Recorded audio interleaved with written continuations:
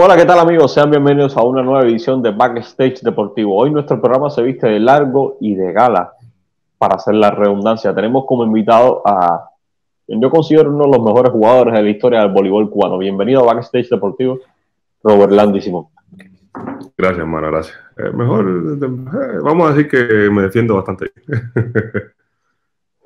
Andy, yo creo que tú eres un tipo, eh, yo creo que más que descrito en toda la historia, creo que tu historia ya bien conocida para todos. En realidad en el mundo del voleibol eres hasta cierto punto ya una leyenda. Entonces vamos a ir abordando esas curiosidades que se esconden detrás de las carreras de Robert y Simón. Y por ejemplo, quiero empezar con la que más viral se ha ido. Un video que pone a Roland y Simón saltando 3.89. ¿Cuán verdad? ¿Cuánta verdad hay tras ese video? Hay gente que dice que está manipulado, otra gente dice que fue en un entrenamiento bachateando o, o fue real. No, fue un entrenamiento que me dio por. Le dije, hicimos pesas por la mañana y le digo, eso fue, tenía, estaba jovencito, eh. tenía 24, 23, 24 años tenía. Y hago pesas por la mañana y le digo a preparado físico, que en aquel tiempo estaba en presencia, le digo, pon el verte, el verte es el, el, cosa donde te miden exacto. Me pone el verte que hoy tengo ganas de saltar. Me dice, ¿para qué dice? ¿Qué ganas de saltar? Tú vas a tocar 360, 370 máximo. Le digo, ¿qué 370? Yo pienso que esa mierda me la vuelo puso 3.75 máximo, eso ahí me lo volé tranquilo. Dice, espérate, espérate, esta vez es como gigarla. Porque eso está demasiado fácil para ti. Pero eso fue entrenando, ¿eh? Estábamos entrenando por la tarde y ya yo me iba a tipo, como, yo soy central, tú sabes que cuando te toca la rotación de afuera, te quedas, te quedas afuera. Entonces, en vez de yo quedarme afuera, me iba a saltar. Y ya, me fui para allá y metí el primer salto y me volé que yo hice este loco. No, no, no, un momento, espérate un momento, que, que está muy fácil para ti. Yo pensé que tú estaba menos. Y entonces no parece que cuando te entrenas, no parece que saltas tanto. Modificó eso, puso 385. 385 también, lo doblé. Y dice, no, esto está complicado. ¿Cómo subimos esto Bueno, no, no pudo subirlo ese día. Ese día no firmaron, no, no, firmamos ni nada. Eso fue, no pudo subirlo más porque el 385 era más. fue, le buscó un pedazo para agregarle, para agrandarlo. Como la semana lo trajo de nuevo y ya, yo en ese, ese otro día, ese día, estábamos ahí bromeando, qué sé si lo otro. Y le digo a, al preparador, ¿me lo traiste? Sí, dale, vamos. Y ya ese día estaban firmando y hice 387, no 389. 387 fue exacto. Y después, tipo, fíjate si, si es verdad que yo, después de, de Corea, eh, el, año antes, el año pasado, el año pasado, yo toqué 379, así que no creo que sea mucha mentira lo de atrás. Está duro. Para los simples mortales, ¿cómo se respira el aire allá arriba? Es un poquito. Eh, es más rico, o sea, está más limpio. El mismo aire, lo único que, lo, malo es aterrizar después, porque entiendes, es demasiado peso para, para mis rodillas. Claro, pero no, ahí lo importante es que eso, eso uno lo hace bromeando esas cosas, pero al final, al final son cosas que, que, te suceden durante, durante la vida, que vas de broma y salen esas cosas hace, hace unos meses atrás tuve la oportunidad de entrevistarte y me contaste una de las historias que para mí es, creo que más sensacional, que fue en tus inicios. Eh, para los que no saben, Rolandísimo es hijo de dos leyendas del baloncesto cubano, de Nancy y la viera Henry Simón. Roberto, Roberto Simón. Roberto, exactamente, perdón. El otro es tu hermano. Y hay una anécdota bien curiosa obvio, hijo de gato, gasa ratón, llevaron a Landy para, para jugar baloncesto. Y en aquellos momentos una leyenda del baloncesto cubano como entrenador, que es Alberto Zavala, era el encargado y le dijo a Rolando Simón, yo creo que las palabras hasta cierto punto que para un niño pueden ser defraudantes, pero para Rolando Simón fue que le vio la luz. Eh, tú no sirves para más, sal de aquí. ¿Cómo fue esa que, a ti te sacaran del básquet?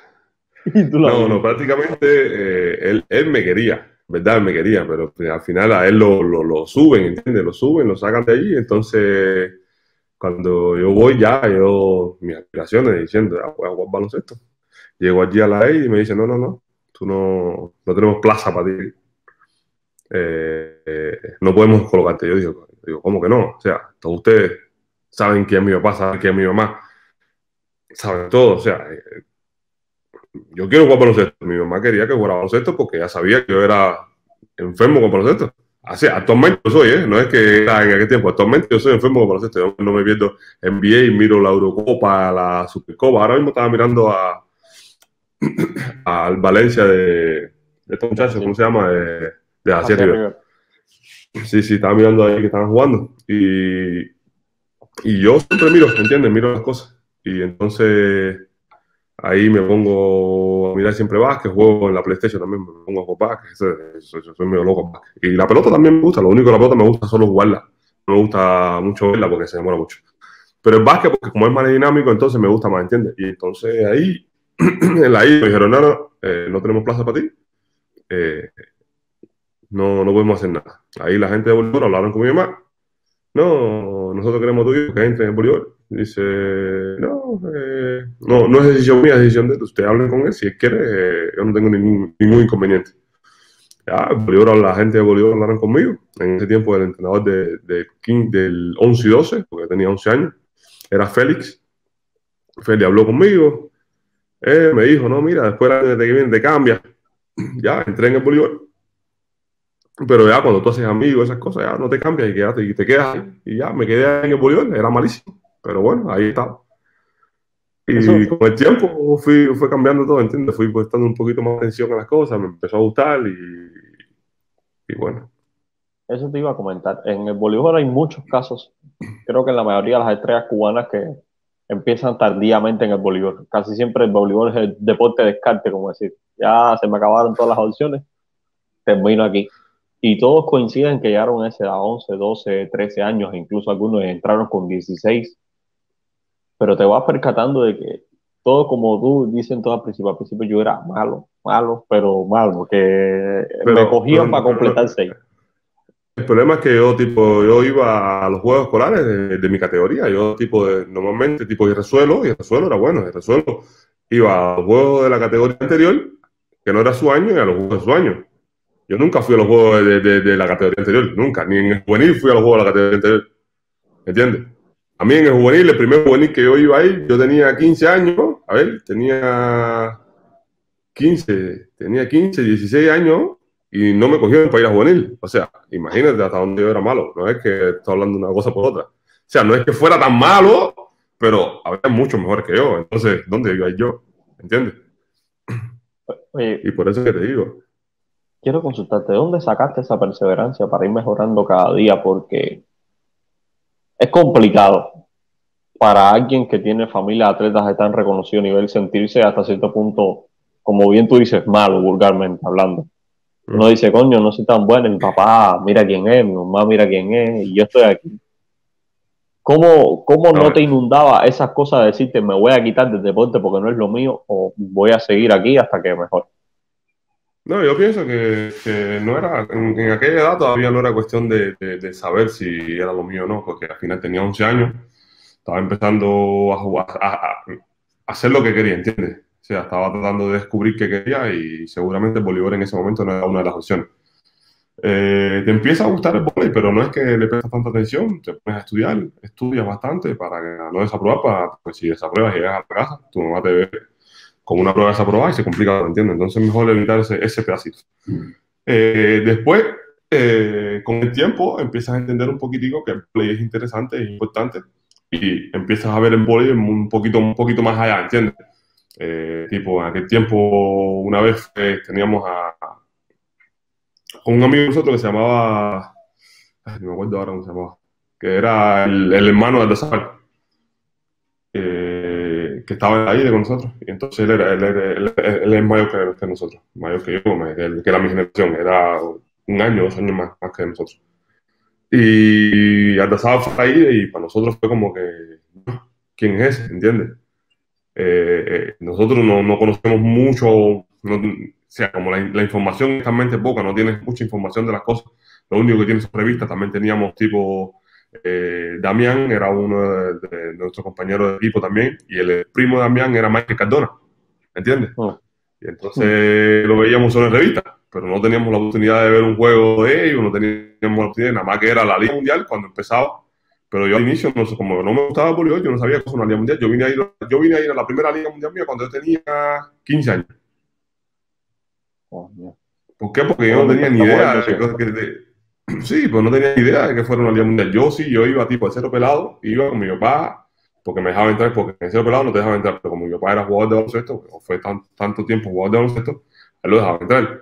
Y ay, mi papá, yo pasaba por ahí, miraba las morenas del Caribe, y al lado de las morenas del Caribe se entrenaba masculino. Y para mí esa pelota viajaba a mil kilómetros hora, yo no veía la pelota. Entonces me ponía a mirar más en femenino, porque la pelota femenino se ve un poco más, ¿entiendes? y entonces no, aparte que, que la vista era mejor, más agradable. Claro, ¿entiendes? Pero, pero al, no, no, verdaderamente, al final, aparte son, son más, más graciosas, los, los, varones más, más, ¿entiendes? Más cerrados. Pero las mujeres no, las mujeres siempre fueron más, más agradables, más graciosas. Venía, oh, Simoncito, entra, que si lo otro sienta aquí con nosotras.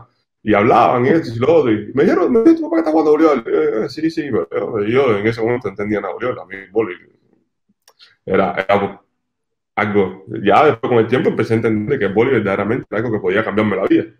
¿Entiendes? Porque primeramente económicamente segunda, y segundo que empezó a gustarme porque ya eh, entrenando con mis compañeros, la rivalidad, el, el, el, todo, ¿entiendes? Te lleva siempre a un poquito más allá de lo que quieres, ¿entiendes? Entonces, eh, este le ponía interés, el otro le ponía interés, yo decía, no, espérate, yo no me puedo quedar atrás, yo tengo que poner interés también. Entonces ahí fue, y entonces después rivalidad, que si jugamos el voleibol en las literas, que si con una Javi de nylon, entonces por la noche terminábamos en vez no había agua para bañarse, pero todos estábamos todos sudados, y tenemos que estarnos sudados, ¿por qué? Porque habíamos hecho un campeonato internacional de voleibol de litera, prácticamente, y terminábamos, terminábamos sudados. Y ya, al final son cosas que pasan en la vida y te quedas ahí tranquilo. Y ya, al otro día te levantas por la mañana, vas a estudiar y por la tarde te toca entrenar y de nuevo entrenas. A ver si teníamos una sola pelota para entrenar. Pero son cosas que pasan, ¿entiendes? Tú te nutriste muchísimo de una generación grande de voleibolistas, llegaste jovencito, incluso poca gente sabe que tú fuiste medallista en la Liga Mundial del año 2005, ese equipo que cogió bronce en Polonia. Por supuesto, no eras ni remotamente Rolando y Simón, pero ah, en ese equipo hay figuras que hoy por hoy son compañeros de equipo tuyo, como Juan y Juan Torena, que también era bien joven, pero era un prodigio, como sigue siendo hoy en la actualidad. Exacto, en ese tiempo, en ese tiempo jugaba Juan Torena, Portuondo, Juan Torena y Yacel Portuondo. Jugaba Puey de opuesto, jugaba Juan Torena, Portuondo, jugaba Puey de opuesto, jugaba Puey, Puey, con Tomás Altazábal estaban siempre ahí, Tomás Altazábal el segundo de Puey, Pimienta Dominico jugaba, y el libro era Sirianis Mente, me acuerdo todavía. Increíble, yo 16, 17, 17 años tenía en ese tiempo. Y para mí fue un poquito. Ah, Andy Díaz fue, era el levantador porque Javier González, Javier González había desertado en la Liga Mundial de 2005, había desertado, entonces eh, nos quedamos con, con, con, Díaz, que en ese momento era levantador Díaz, y después entró Camé a ser el segundo de Díaz. Ahí, ese, esa Liga Mundial fue sorprendente porque era un equipo prácticamente que venía rearmándose de las tantas valga la redundancia, a veces que se tuvo que rearmar el equipo nacional después del 2001, porque se armó, creo que hasta en tres ocasiones completamente tuvo que hacerse desde cero. Bueno, el, vivo ejemplo era tú, con muchachito de 17 años, tenía que estar en la banca porque no había nadie más atrás. Eso se había ido todo el mundo hablando las claras. ¿Cómo, fue para ti, ¿Cómo fue para ti beber un poquito de las mieles del triunfo desde un poquito desde la barda? O sea, ver los toros de la barda, pero beber las mieles de que es de que es el deporte de primer nivel. Y enfrentarse a equipos que en aquellos años creo que era eh, Polonia, Brasil, Italia, bueno, las potencias del voleibol en realidad. para que Al inicio, al inicio yo ni jugaba. Yo estaba ahí como paseando prácticamente porque al final no, o sea, no tenía todavía la calidad para jugar y no creo que tuviera tampoco los cojones para meterme adentro. Hablando claro. que se necesita en ese momento. Eh, pero nada, al final me divertía, porque al final ellos me enseñaban, me, enseñaban mucho, me mostraban, me, me, me, mostraban la vida como era, cómo funcionaban las cosas. Yo tenía que adaptar prácticamente a un mundo nuevo. O sea, yo prácticamente, tipo, el primer viaje que yo di fue a Rusia. Y lo primero que hicieron fue decirme, lo primero que tienes que hacer es comprarte aseo personal. Y me empezaron a decir todo lo que tenía que comprar y prácticamente mi salario ese que tenía lo tenía comprado en aseo. ¿Entiendes? Y mentira, son cosas que, que, tú vives, pero verdaderamente son cosas que uno necesita. O sea, al final tienes que ser limpio. ¿Entiendes? No te gastes el dinero en más cosas, cómprate el aseo personal y después lo que te quede, mira lo que haces. Sí, a mí me gustaba el chocolate, me gustaba como todo, ¿entiendes? Como todo, como todo cubano cuando, cuando sale por primera vez de Cuba, que nunca ha visto muchas cosas, te alumbra, se te, se te ilumina la, la, la, vista. Y nada, al final llegué, me, verdaderamente me compré prácticamente solo aseo y estuve bien porque al final me, fue como, como la, mi, primera vez. Yo veía que ellos se compraban de todo, pero ya yo, decía, no puedo, no puedo ser igual que ellos porque ellos tienen ya una vida aquí, ¿entiendes? En el equipo. Después, poco a poco, me fui adaptando. Eh, segundo viaje a Argentina, me fue un amistoso. En los amistosos yo jugaba, los amistosos me ponían a jugar a mí. Parece como para empezar a, introducirme, que al inicio no entendían ni papa de los juegos, porque al final jugaban más ellos que yo. Yo estaba adentro porque, porque ellos decían que yo tenía que. Roberto decía en ese momento el entrenador, tú tienes que estar aquí adentro. Y me ponía y yo, mentira, al final, aquí siempre, siempre hice, ¿entiendes? Pero no es que fuera nada al otro mundo, simplemente trataba de hacer lo, que podía. El primer juego, el primer juego que yo tuve, Roberto decía, me, me pone en el 2006, Mundial de Japón en el 2006, que fue cuando Juan Torrena sale con doping y, y Camejo tiene que jugar, en vez de levantador, tiene que jugar punta. Entonces estaba Camejo, sí, Oriol Camejo. Estaba Camejo, estaba Portuondo, que estaba muy lesionado, y estaba Michael Sánchez, que también tenía que jugar punta. Entonces estaban jugando punta los dos. O sea, un levantador y un opuesto, que, en ese tiempo Michael Sánchez jugaba punta, no jugaba opuesto. Y entonces tuvieron que jugar punta de dos. Y estaba José, Luis Sánchez de libero. ¿Entiendes? Y ah, esa fue mi primera competencia como, como, titular. Y yo llego, primer juego, competencia, o sea, primera competencia eh, importante, que, que, que, oficial, no amistoso. Primer juego contra quién? Contra Brasil. Contra Brasil, que nadie le había, que llevaba no sé cuánto tiempo invicto sin perder Y Ricardo, que era el levantador en ese tiempo, que yo tenía una, una, pelota para atrás, una siete para atrás, una siete para adelante, un primer tiempo y una pay. Y yo dije, bueno, si la pelota llega, salto siempre. Y no, no hago bruta figura, al final estuve ahí y verdaderamente súper difícil. Ese fue, yo creo que ese fue uno de los, juegos más difíciles que yo, me recuerdo en mi vida porque no, no entendía nada de juego en, ese tiempo. Después, en Bulgaria el otro día jugué súper mal y me sacaron y no entré más hasta, hasta que yo me recuerdo, hasta creo que, como 3, 4 juegos antes de terminar. Y de ahí para allá, ya Roberto me, me, me puso, me, tenía adentro siempre. Y, y después entró Samuel, también ya mantuve bastante, bastante firme con las cosas. Vamos, vamos a hablar de eso, eh, porque como, como bien mencioné, hace unos meses atrás tuve la oportunidad de entrevistarte y eso fue creo que la gota de la polémica que se encendió. Va a ser la historia de, de cómo fue tu inicio de relación con Samuel. Eh, que literalmente tú no fue el mejor inicio de relación. Eh, primer, primer para, día que para, que, para, poner la gente en contexto, Roland Simón hace el, la historia de que o sea, lo primero que le dice Samuel es, muchacho, ven acá, que tú haces aquí, tú no sirves para esto. O sea, como, quizás psicológicamente esa es la manera de pincharlo para probarte a ver si tú estás hecho de calibre o no. Luego de que se sube esta entrevista, Samuel comenta la entrevista en Facebook, o sea, hasta cierto punto, de su manera de ver, desde su punto de vista indignado y molesto por las declaraciones de Robert Landy. Nunca, nunca respondiste a eso y quería no, saber no lo vi, no lo vi. ¿Cómo, cómo, no vi la, la, declaración de él. No, no, yo verdaderamente fue así. O sea, no es mentira. O sea, Samuel me, me, me, toma y me dice, tú no sirves. O sea, como tú dices, puede ser que sea manera de demostrarle. Eso mi mamá también me comunica de esa manera. Pero yo soy, un, muchacho que tiene 18 años. Me vas a decir a mí que no sirve, que tengo que ir para mi casa. Eh, mentira, en mi cabeza digo, no, que me tengo que ir para mi casa. No, yo estoy aquí, a mí hay que matarme. Porque siempre fui así, ¿entiendes? Siempre fui... Eh, no, siempre. Yo tuve un periodo que, eh, sea, como todo, ¿entiendes? A mí, tipo Tato, en un tiempo que me dejó para una competencia que juvenil y me dejó, me dejó Cuba, porque yo no estaba preparado todavía, yo había apenas salido una operación, pero yo me consideraba que, me consideraba que estaba listo.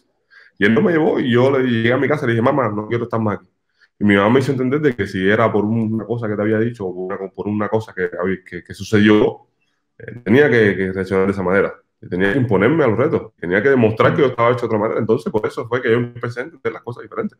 Y Samuel, en el momento ese que Samuel me dice eso, yo dije, no, eh, yo puedo no servir, pero yo estaré aquí. Si tú no me votas, yo no me voy. ¿Entiendes? Pero yo con 18 años, ¿qué voy a entender? Me lo dijo así. O sea, yo me recuerdo esas palabras porque son cosas que te marcan, ¿entiendes?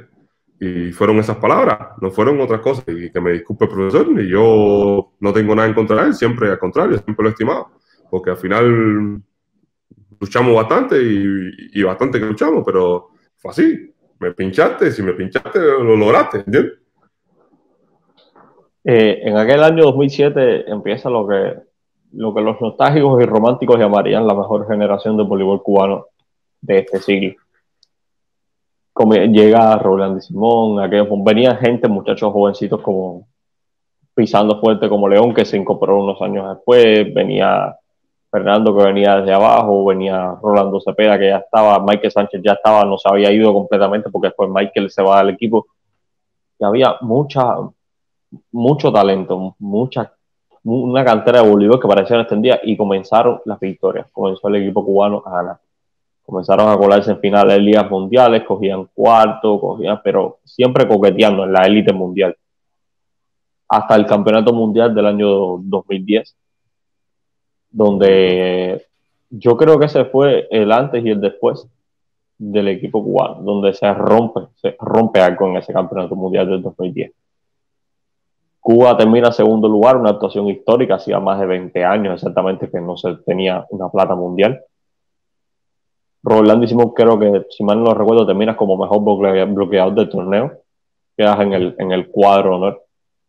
Y fue el momento que empezó el chi. Después, creo que después de ese campeonato mundial le pides la baja tú, no me acuerdo si es Leal que la pide detrás.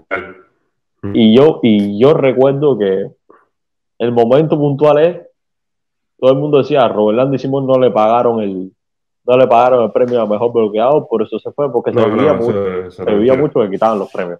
En realidad fue que no, se pagaron, o eso era mentira. No, no, es que, es que, es que, ¿qué pasa? Cuando tú estás en, en el equipo nacional, eh, tú sufres, ¿entiendes? Porque mentiras, o sea, estás constantemente, te entrenas todos los días y tú empiezas a comprarte. ¿entiendes? Empiezas a compararte con las demás personas porque tú juegas contra los centrales de la Serbia, de la Rusia, de la Italia, y empiezas, eh, empieza a compararte, verdaderamente empiezas a compararte. Y nosotros empezamos a, a, determinar, caramba, nosotros estamos aquí todos los días y tenemos resultados para, para, para nuestro país, tenemos cosas y cada vez que tenemos algo, algún resultado vamos más para atrás y más para atrás. Y entonces, tipo, nosotros llegamos, en vez de, no sé, de mejorar las cosas en la escuela, cuando estábamos en la escuela, llegamos con una plata mundial y en vez de mejorar todo empeora. La comida se llega tarde, la comida cada vez es peor, o no sé, tenemos que seguir moviéndonos, no sé, yo no por mí, ¿entiendes? Sino por los demás muchachos. El único que tenía carro era yo.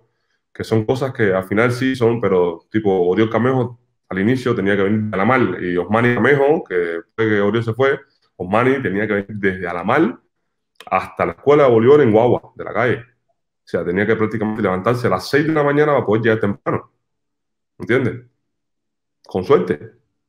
¿Entiendes? Entonces después termina a las 9 de la noche y llega a las 12 de la noche a su casa. Y no es que teníamos dinero para comprar, para, para, coger, para coger máquinas. Porque ahora los muchachos cobran 2.000, 3.000 pesos, pero nosotros cobramos 200 pesos. ¿Me entiendes? ¿Entiendes? Entonces tú vas comparando y sigues haciendo comparaciones. ¿Y por qué este muerto que, que yo cojo y lo reviento cada vez que lo reviento cobra más que yo? No puede cobrar más que yo. O sea, un mínimo de respeto para nosotros. Entonces nosotros le exigíamos eso al Inder en ese momento, ¿entiendes? Y, y, al final te cansas. Llega un momento que dices, no, esto no va a cambiar, va a seguir así, va a seguir empeorando. Empiezo a mirar a mis padres y veo que no tienen nada empiezo a ver las personas cerca de mis padres que fueron jugadores también, que tienen nada. Y dice, bueno, vamos a tratar de probar suerte con otra cosa, porque si no, es complicado. y así fue. Pedí mi baja, me fui para mi casa. Llego a mi casa y como al cabo tiempo me llega una propuesta. Me dicen, te queremos, ya me, fui, ¿me entiendes? Pero mentira, o sea, me fui, el primer salario mío fueron 70 mil euros, o sea, así, de la nada. O sea, me cambia la vida completamente. ¿eh? No por nada, sino porque puedo darle a mi mamá gustos que nunca se ha dado. A mi hermano, yo tengo un hermano con problemas. Tengo, ahora tengo dos hijas. En el tiempo tenía una que, me, que, me salió una allí en ese momento, o sea, sin problema. Sin problema ninguno, pero ¿qué piensas? Eh, ¿Que vas a seguir sufriendo? Disculpa. Vas a seguir sufriendo en un equipo nacional donde tú estás tratando de, no sé, obtener resultados y cada vez que obtienes algo eh, te encuentras más para atrás. No, al contrario. O sea, yo quisiera que en ese momento las cosas mejoraran. Mejor, no sé, si en ese momento nosotros tuviéramos la posibilidad que tuvieran estos muchachos, nosotros todavía estuviéramos en equipo nacional. ¿Por qué? Porque juegan en contrato, cogen su contrato y juegan fuera y vuelven para acá. Tuviéramos todo ahí, todavía, sin ningún tipo de problema, porque al final nosotros aceptábamos sin ningún tipo de problema. Al contrario, estuviéramos ahí, jugábamos para acá y volvemos para Cuba, porque al final nosotros todos volvemos a Cuba, todos volvemos a Cuba. No hay uno de nosotros que no vuelva a Cuba. León ahora, porque está jugando con la selección de Polonia, o Brasil Leal, pero, pero Leal con el COVID el año pasado se metió su cuarentena y vino para Cuba. ¿Me entiendes? Al final todos volvemos a Cuba de una manera u otra. Entonces no es cuestión de nada, simplemente es cuestión de, de, de tratar de, ayudarnos a nosotros. Porque si tú nos ponías un mínimo de condiciones, yo creo que nosotros estuviéramos en Cuba todavía. Mínimo de condiciones, estoy hablando.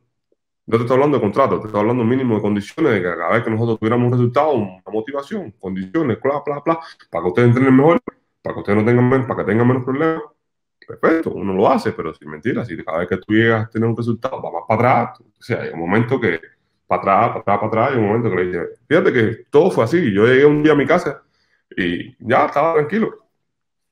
Y le digo, mamá, me levanto por la mañana, me levanté por la mañana y le digo, mamá, no voy a entrenar. Y ¿cómo que no voy a entrenar? No, ya estoy cansado, no aguanto más. ¿Cómo así? Me pongo a explicarle a mi mamá y dice, ah, bueno, tranquilo, ¿qué hay que hacer ahora? vamos para allá y vamos a ver qué pasa, porque no tengo ni idea de lo que, que lo que hay que hacer aquí, no tengo ni idea. Bueno, fuimos para ahí, para la federación, no quiero jugar por la selección. ¿Qué va a hacer? Entonces ellos, ellos determinaron, me citaron para Inder, tuvieron una reunión conmigo, me dijeron que si yo tenía, yo no tengo nada, simplemente que estoy cansado, le expliqué mi motivo, me dijeron, no, te vamos a dar un tiempo, entonces ahí fue donde ellos determinaron que yo estaba de vacaciones. Yo no estaba de vacaciones, yo simplemente decidí que no iba a formar, lo único que yo no iba a discutir. Entonces todo el mundo me dijo que volviera a la selección, me escribía en ese tiempo, vuelve a la selección, vuelve a la selección, vuelve a la selección. Yo eh, no estaba para explicarle a nadie que, que yo estaba de vacaciones, que no era, era mentira que yo estaba de vacaciones. Uno en, en Cuba, cuando tú has visto a alguien que se toma vacaciones un año completo. Muy. ¿Entiendes? Entonces, simplemente lo único que esta fue la justificación que ellos dieron para poder limpiarse. Yo no, ni, ni voz, ni voto, ni bravo, ni molesto. Me quitaron la entrada a todo centro deportivo después que ellos vieron que ya no tenía ninguna intención de volver. Y más cuando me llegó la propuesta de aquí de Italia, menos todavía. En Cuba me pagaban 300 dólares sin yo hacer nada. Imagínate. Sí, porque mucha gente no sabe. Por, por, suerte, pero en ese momento, en esos dos años que tú tuviste, eh, me comentaste algo que después con el tiempo me di cuenta, lo analicé un poco y dije, coño, es verdad que Rolando hicimos un tipo que cuando se quiere esforzarse haciendo algo lo logra. Me comentaste que como empezaste a jugar fútbol, fútbol 11 para mantenerte en forma, pero como mismo empezaste el voleibol, tú decías, era malo, malo literalmente, que yo era un, yo era un tronco, me pasaban por al lado, me regateaban, pero me metí adentro el problema es que empezó a gustarme, empezó a gustarme, empezó a gustarme. No, no es que me volví bueno, sino que ya mis cosas, tipo las cosas que tenían que hacer siempre, las sabía hacer, tipo los pases, esas cosas, tirar. Eh, ya eran cosas que yo empecé a hacer porque, mentira, el, yo soy un tipo que me gusta los deportes y aprendo rápido, ¿entiendes? Mi mamá me decía que iba a ser un futbolista frustrado porque yo me gustaban todos los deportes, yo jugaba tipo al béisbol, al béisbol yo juego. Y yo, nosotros jugamos con la chapita, yo y el resuelo jugamos contra los peloteros en la I, con la chapita. ¿Por qué? Porque nos gustaba. Y, nosotros veíamos la chapita y le dábamos. Entonces, como nosotros le dábamos, a, los peloteros les gustaba más con nosotros. ¿Por qué? Porque nosotros veíamos la chapita. Y con el palo escoba nosotros le dábamos la chapa. Y entonces era eso. Después jugábamos fútbol con la, con la, con la chava también. Wow, todo, todo que fuera, nosotros podíamos jugarlo tranquilamente. Y por eso fue que en el fútbol, cuando empecé a jugar el fútbol, me, me, me explicaron el tiro, el toque, esto, lo otro. Y ahí empecé a hacerlo porque yo, mentira, soñaba con eso porque decía, no, pues tan malo, no. A mí, porque tú sabes, cuando empieza, yo empecé jugando 4 contra 4 en las vallitas. y nadie me quería. Entonces yo, no, no, no, a mí alguien tiene que, cuando yo vaya allí, tienen que decir, no, no, yo quiero a Simón, ¿entiendes? Tiene que pedirme, alguien tiene que pedirme. Sí, claro, uno no puede ser de busto, uno no, está acostumbrado a eso, ¿entiendes? Entonces, ay, pues ahí, ahí, ahí, ahí, entonces hay un momento que la gente me veía, entonces después empezamos a jugar los torneos esos, que eran torneos de la iglesia, ¿verdad? Era de fútbol 11, que eran los fines de semana. Y yo me iba con ellos a fútbol 11.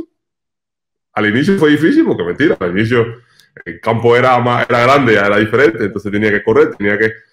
Y me gustó y entonces ya iba todos los fines de semana para mi fútbol. No había quien me dijera que no mi fútbol. ¿Entiendes? Vamos, vamos a hablar de tu carrera profesional. Para no acá, porque es bastante extensa la lista de servicios, Corea, Italia, Brasil, aunque Italia ha sido creo que la meca, donde has estado más tiempo y donde mejor te ha ido hablando de claro. Pero hay un país que yo quiero hablar y es Brasil. En Brasil, en Sada, se te elevó como gloria y hoy por hoy, vamos a hablar a clara, mm, la afición, la mayoría de la afición de Sada te tiene hoy, literalmente. Sí, sí. Eh, sucedieron ciertas cosas en el que en el Bolívar mucha gente no sabe, porque la gente no sabe qué sucede tras bastidores, todo el mundo sabe lo que ve o lo que te quieren mostrar, tanto club como que te quieren enseñar. Y eso a lo mejor quizás influyó en la imagen que se quedó en Brasil de Robert Landy, Simón. Mm. No quiero quemarles la situación que sucedió porque tengo entendido que estás en temas legales con eso. Sí, Pero quiero que me des un, una un nota para arriba y decirme, mira, sucedió algo, un malentendido y al final la, la afición no me, no, me dejó explicar mi parte de la historia no tengo nada en contra de la afición, la afición nunca ha escuchado mi parte, yo no, no, no tengo ni por qué explicársela, al final ellos quisieron entender la parte del club y lo van a entender siempre así, ¿entiendes? Al final no puedes forzar a la gente a que te entienda, simplemente acepta tu pedazo y punto, es la vida que me tocó, yo decidí irme a Brasil un año antes de terminar mi contrato y como todo, tratando de arreglar las cosas bien, tratando de salir bien, al final no salió bien, eh, me fui, me vine aquí a Italia donde actualmente estoy aquí en la Lube y verdaderamente me fui y estoy contento aquí. Tenía una niña, tenía motivos para irme, sea, en ese momento tenía a, la mía ex embarazada y, nos vinimos aquí a Italia buscando siempre mejorar. Al final no, no cuestiono ninguna de las decisiones que hizo Sada, si quisieron traerme a, a juicio por los motivos que ellos entiendan, lo pueden hacer, no tengo problema ninguno, yo lo acepté. Y al contrario, nunca le fui en contra pero al final estoy súper contento, estoy súper tranquilo aquí en Italia.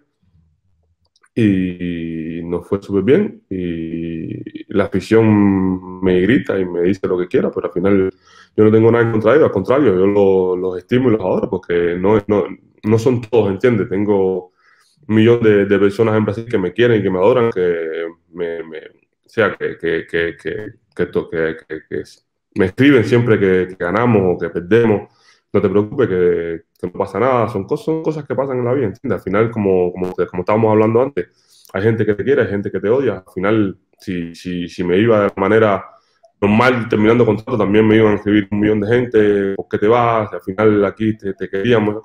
Son cosas que pasan en el deporte. El deporte tú tienes que tomar tus decisiones y las decisiones siempre te llevan a, un lugar que puede que esté bien, puede que esté mal. Lo único que eh, no lo sabes. Tienes que arriesgarte. Y por mucho la vida te lleva por esos lugares. ¿Y ¿Quién iba a decir que, no sé, que yo me iba de Cuba y iba a estar, eh, porque tipo Cuba, porque a lo mejor no tenía los medios o, la, o, la, o, la, o, las cosas, porque a lo mejor, porque te digo, en ese tiempo yo, yo, yo, sufrí un poco más porque todo el mundo me decía que porque yo estaba de vacaciones. Entonces yo tenía que ponerme a explicarle a cada persona que yo estaba de vacaciones. Que eso fue una decisión de Linde. ¿Me entiendes? Es lo mismo, lo único que es, en este tiempo hay internet, hay teléfono, hay todo y la gente te lo dice. Pero si yo en ese tiempo, en ese tiempo era joven, yo te ponía a explicar, pero yo no, yo no darle explicación a nadie de lo que de la decisión mía de salir de Cuba. ¿Entiendes? Porque yo tengo que explicarle a cada persona de Cuba que me pregunta por qué estoy de vacaciones, por qué vuelvo al equipo, de que, de que me fui por una cuestión de que me cansé de la misma mierda, no. Lo entienden y punto. Si no lo quieren entender, vacaciones, pero tienes que explicarle a cubana. Sí, sí, me fui ya, punto. ¿Me entiendes? te evitas, te evitas hasta, hasta problemas. Más nada. Eh, en Brasil me fui, sí, eh, punto. Ellos me iban a juicio, vamos a juicio, ¿qué puedo hacer? Más nada. Vamos a hablar del US Vitanoa. El club en un momento dado ha tenido incluso la mayor cantidad de cubanos en el equipo. Tuvo cuatro en un momento dado, cuando está, creo que fue el año pasado cuando estaban Leal, Juan Torena, Jan y tú. Pero en ese equipo te has vuelto una especie de, de Capitán América, por así decirlo. Eres una de las figuras icónicas del, del club junto a Osmani. Y ¿Cómo se siente hasta cierto punto ser tratado como, como figura? Porque han ganado mucho. ¿Y cómo se siente estar mimado dentro de una institución que te vean? Eh, Robert Landy, es Simón, Simón, Simón. No, no, aquí no te miman tanto. Es que simplemente el equipo es así, ¿entiendes? El equipo trata bien a sus jugadores. Muy, muy, muy bien. Y es un equipo donde se está bien. Pero desde ya decirte que el año que viene no, estaré por aquí. Estaré en otro equipo, Piacenza. Los rumores son ciertos. Así que no lo escondo. Pero no quiero pensar en eso porque todavía tengo, tengo un campeonato que, que tratar de ganar. Que está difícil, que Perú está jugando bien y porque Trento juega bien, porque la liga italiana siempre es la liga más complicada de ganar, pero eh, la esperanza es la última que se pierde y seguramente me van a ver ahí en campo dando el 100% para tratar de ganar porque perder es la última, lo último que se me viene por la cabeza. Eh, Aquí en la Lube no, es que te miman, es que simplemente el club es así, el club te trata bien. ¿Por qué? Porque el club quiere que tú des 110% en el juego. Entonces ellos tratan de, tenerte 100% tranquilo para que tú juegues al 100% mejor. ¿Entiendes? Sin, tratar de darte tanto problema. Eso es una cosa que yo pienso que es positivo. Mientras menos problemas te dan, mejor tú puedes jugar. Lo único que también depende, ¿sabes? es un deporte de equipo, no es un deporte individual. Y aquí, por suerte, por suerte hemos ganado todo. Y yo muy contento. Este año ha sido bien difícil porque no hemos ganado nada. Pero bueno, son cosas que pasan en la vida, no siempre se puede ganar. Hemos estado cerca, hemos estado lejos, pero tipo, ahora mismo regresamos a una derrota donde perdimos con el que de Polonia en la Champions, en los cuartos de finales, que fue, fue duro porque estábamos, creo que teníamos la suficiente confianza como para ganar el juego. Y después ver el Golden qué sucedía, que el Golden son 15 puntos y uno nunca sabe lo que pasa en 15 puntos, pero bueno, eh, no pudimos llegar a, a Golden ganamos los dos primeros y perdimos el tercero. Ese tercero creo que nos derrumbó un poquito la, la, la moral que teníamos como para el juego y ya el cuarto se nos fue completamente el juego de las manos. Pero bueno, son cosas que pasan en el deporte y como te digo, este año no hemos ganado nada pero los años anteriores hemos ganado, ganamos muchas cosas, entonces son cosas que, que se aceptan mucho, ¿entiendes? Y espero, espero, espero tratar de, de, ganar alguna otra cosa en lo que termina de mi carrera, porque no, no me gusta perder y, trataré de dar el 110% para seguir ganando, que es lo que, lo que me gusta, ¿entiendes? Porque la sensación esa de, de victoria son, son, muy, muy, muy buenas y muy bonitas. eso siempre ha caracterizado ser competitivo y querer ganar. Lo explicaba, yo creo que lo hemos recorrido durante toda la carrera. Te gustaba ganar en la Liga de la Litera, te gustaba ganar en la Chapita, te gustaba ganar en Bahita. Incluso hay anécdotas que en el equipo nacional cuando se ponían a, a jugar literalmente, te, te, ponían con los más malos porque sabían que eran tantas tu ansia de ganar. siempre, sí, es que siempre fui competitivo y, y, la competitividad esa yo creo que es la que me ha llevado siempre a, a sobreponerme a muchas situaciones que entiende que, creo que fueron siempre adversas, pero como soy competitivo me, no me gusta perder y entonces me, impongo a lo que es, eh, tengo el equipo más malo, no importa, vamos a tratar de luchar a ver si ganamos y si ganamos. ¿Entiendes? Por lo menos creo que por ti. Exacto. No, pero el problema es que la chance de perder, cuando tú tienes lo más malo, la chance de perder es alta, ¿entiendes? Pero ¿y si ganamos? Ese es el problema que todo el mundo tiene que pensar. O sea, por ejemplo, con el equipo Cuba ese que, Samuel llevó, Samuel llevó un equipo Cuba así que te estaba dando, pero nosotros, con respecto a condiciones, con respecto a, calidad, con respecto a todo, nosotros no teníamos nada que hacer en una final de un mundial. ¿Por qué? Porque todos los equipos tienen más condiciones que nosotros, más calidad que nosotros, saben jugar voleibol, tienen todas las estadísticas, todas las cosas, cómo lo hacen. Y esas son cosas que funcionan. Son cosas que funcionan y al final si funcionan, eh, ¿cómo tú le ganas a ellos? Porque entraste en un campo y te salieron las cosas mejor que ellos. Y porque, no sé, porque ese día llegamos nosotros y la gente no tenía miedo con nosotros porque sabían que nosotros éramos así. Nosotros llegábamos y había el día que, como decíamos, como digo yo siempre, iluminado y y te jodes. Porque cuando tú tienes un equipo así en una competencia, te jode. ¿Por qué? Porque tú no sabes lo que hacen.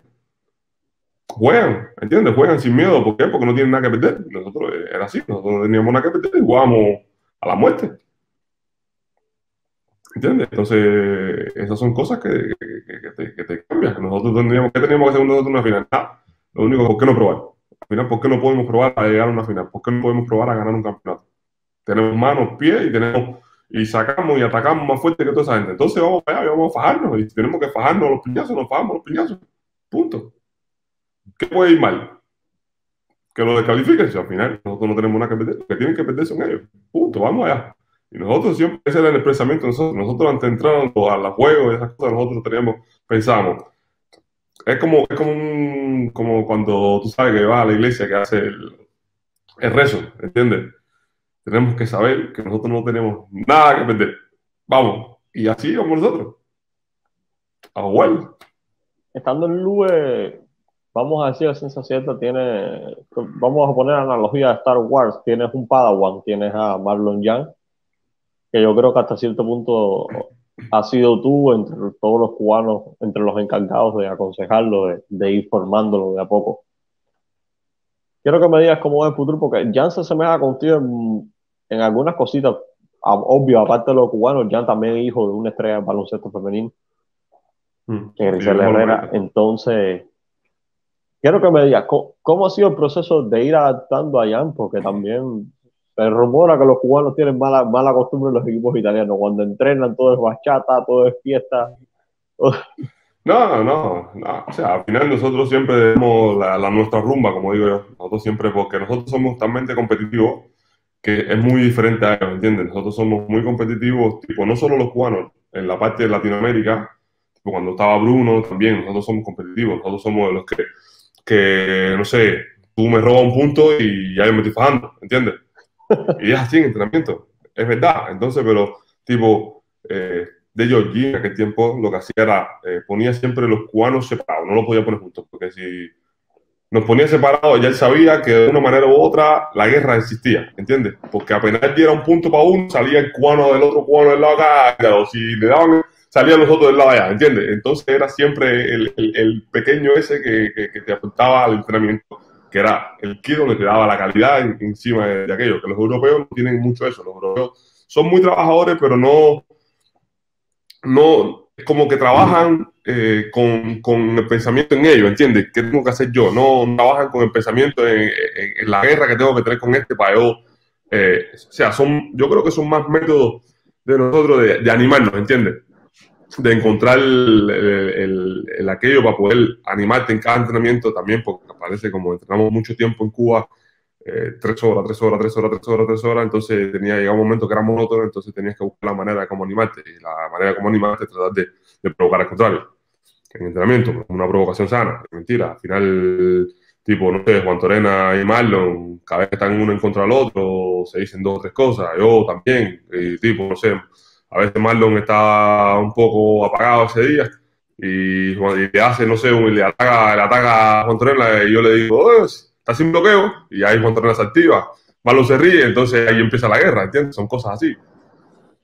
Y pero Marlon, Marlon viene bien, Marlon me gusta, Marlon es un tipo trabajador, es un tipo que trabaja bien, se dedica y tiene ganas, entonces creo que, que él sabe, él sabe que, es un gran jugador, que puede ser un gran jugador, que todavía no ha ganado nada, pero que, que depende mucho de él, depende de lo que pueda hacer y lo que quiera hacer, en verdad. Oye, Tú regresaste puntualmente a Cuba con la selección y aquello fue un vuelco. Todo el mundo contento, todo el mundo alegre, regresó Robert Landy Simón. Intentaste llegar a los Juegos Olímpicos de Tokio, no se pudo. Sucedió la de Bagles en Canadá que aún todavía está buscándose, explicándose cómo, cómo coño pasó todo. Pero bueno, ya ese no es, eso no es tema de conversación, eso es algo pasado que no mueve bolito. Mi pregunta es, Landy Simón quiere llegar a París 2024 porque te veo fuerte. Estamos en el. Yo creo que el COVID alargó la vida deportiva de mucha gente.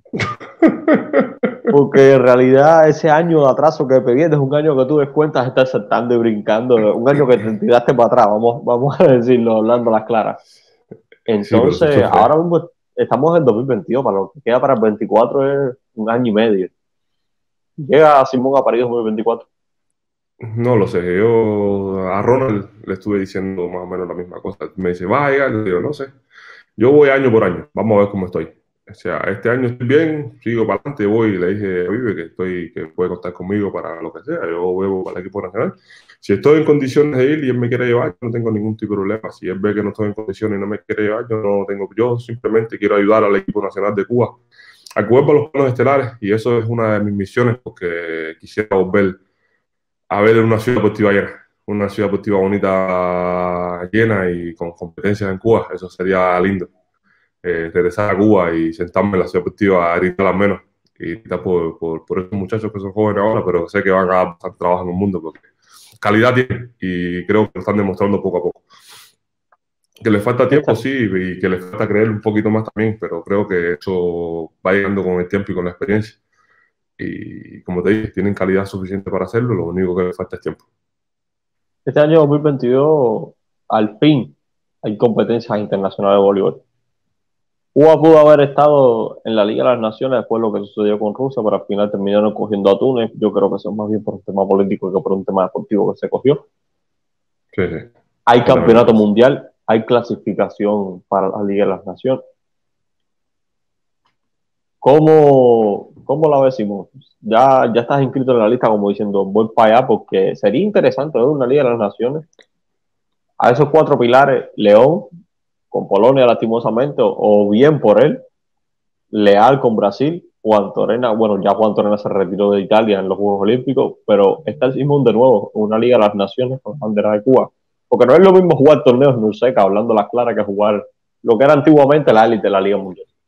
Es mucho más complicado, hay que estar mejor preparado y hay que tener un banco. Y nosotros creo que tenemos bastante gente, nosotros tenemos un buen banco en este momento se está funcionando. Te dije, como te dije, Michael Sánchez también se incorpora ahora al equipo nacional con nosotros y eso es una cosa buena porque ayuda. La experiencia siempre es buena para, para estos muchachos jóvenes que están creciendo ahora, que nosotros le aportamos eh, lo que hemos aprendido con los años, ¿entiendes? Al final, más sabe el diablo por viejo que por diablo, ¿no? Y, son cosas que, estos jóvenes no todavía piensan que saben, pero verdaderamente no lo saben. Pero nosotros lo que trataremos de hacer es, como te dije, ayudarlos y, vamos a ver, vamos a ver la Liga de Naciones esta que es interesante. La clasificación en verdad, porque el primer año es clasificación. En caso de jugarla, jugaríamos en 2023. Lo único que la clasificación es bien difícil porque hay dos o tres equipos que son difíciles, como porque el está creciendo a nivel mundial, entonces se vuelve difícil, ¿entiendes? Entonces lo que hace es que intentarlo. Vamos a ver cómo va este año y seguramente si no este año será el otro.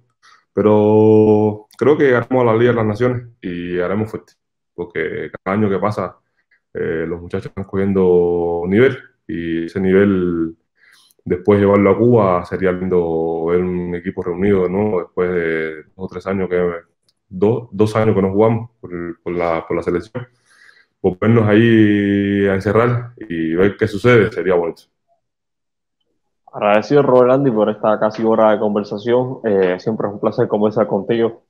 Tipo sincero y de tremendas palabras agradecerte y por supuesto tenerte la invitación de después del campeonato mundial de, bueno, ya no será en Rusia, pero después del campeonato mundial, para ver, vamos a analizar de nuevo la carrera de Simón y si llega o no llega a París 2024.